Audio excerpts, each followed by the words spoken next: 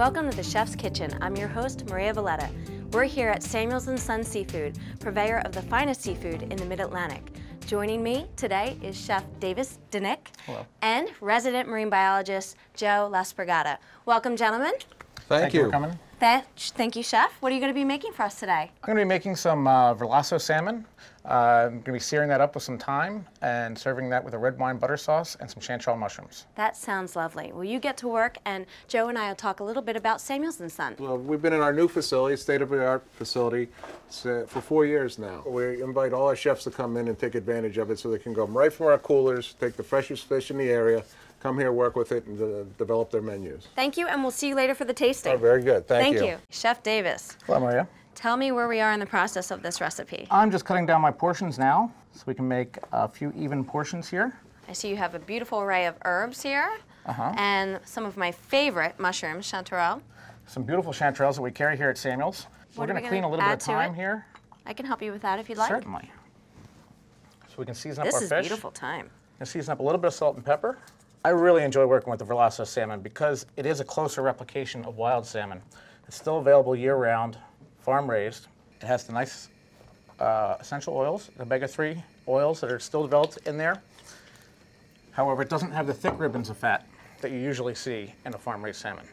I'm just gonna heat up a pan here with a little bit of oil and butter. Mm, that smells really good. Actually, before we start the salmon, I'm gonna get my potatoes rolling so we can get our pommes puree happening. I'm gonna peel a few potatoes, dice them up, and get them in some water boiling. Okay, Chef, I'm going to put the rest of the potatoes in that you chopped Looks good, Maria, thank into the you. boiling water. Sure, I'll turn that up. So I'm gonna split these chanterelles Chanterelles and thyme and butter. and butter. While you're doing the thyme. Before we go in, I'm gonna add some butter Like I said, butter makes them better. and just a touch of oil. And we're gonna let that butter brown up just a touch before we add in the mushrooms. Okay. Now we're getting a little bit of brown on this butter. I'm gonna go in with the chanterelles. And Once they're in the pan, we're gonna leave it on a really high heat and not move them around too much. Okay, and why, why that method? Tell me. Uh, we really wanna get a nice caramelization on the mushrooms. That will really bring out the flavor. Get a little bit of uh, browning action happening on those mushrooms and it really gets them really nice and crispy and the flavor comes out really nicely. That's a good tip. See, I've always moved them around, probably way too fast. Yeah, actually, a lot of times when you're searing at a high heat, you don't want to move the food around a whole lot.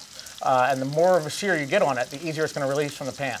We're going to season up some of the fish with a little bit of the thyme. You can oil as well. Just a touch on top would be fine. Okay. See that you've got some radishes here. I do. We're going to make a, a small salad with radishes and radish sprouts and a little bit of truffle oil to go over top of the plate when we're done as a garnish. So I just cut these radishes thin on a mandolin, and I'm going to julienne them with a knife. Oh, it smells different. Yeah, black truffle has a little bit different flavor than the white truffle. It still has the aromatic notes to it. Starting to get a little bit of brown color here. Pan definitely see that. Salmon. So we're going to go into the pan and take the thicker pieces first. So now you took the skin off this salmon. I saw you I did take the slice that off. nicely right off there. Can you cook it with the skin on for this recipe as well? certainly can. It's cooking very quickly. They are. Once I have a sear on this side, on the herb side, I'm going to slow it down a little bit, That is a beautiful golden color. and we're going to move the fish over to plate and let that rest. Hmm, that salmon has a wonderful aroma. All right, potatoes are on their way, huh? So we have the potatoes riced. I'm going to add in the chives, and then I already have some cream and butter hot here, so we can keep everything hot together. So all we have left now is the sauce. I have a pan here getting hot. I'm going to hit it with a little bit of red wine first. Take it off the stove before so you get add the your pan nice alcohol. and hot. Oh, okay. Yep. Before you add your alcohol, you want to take it off the stove. I'm going to add in some of the chicken stock here. This has already been reduced a little bit, so it's come down a touch from where it's been. Ooh, that smells really good. And we're going to bring this down a little bit. And if you wouldn't mind getting me a small spoonful of mustard, we'll add this in. Okay. And the small whip over there. So I'm going to add the mustard in. If you want to whip that in. So as you stir that, I'm going to start adding in some whipped butter. This butter I put in the mixer for a little while with a little bit of ice. I'm going to start my plate with a little bit of potatoes. Add on a couple pieces of salmon. Did I hear somebody request a little bit of wine with this dish? Oh, Absolutely. and my favorite, You're my hero, Right from Joe. the cellars.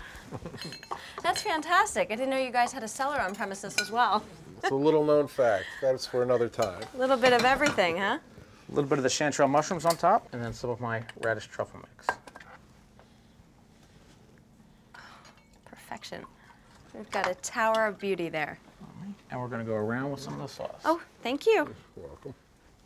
Chef, I'll give this to you. You've done oh, all great, the hard thank work. You'll toast with us. Thank you, You're Joe. welcome. Looking forward to tasting it, shall we? Certainly. Let's. Don't forget to try your wine with it as well. and the mushrooms. Yes, I'm gonna get a little bit of everything. And the potatoes, the radish. Mmm. Mmm. That is wonderful. Mmm.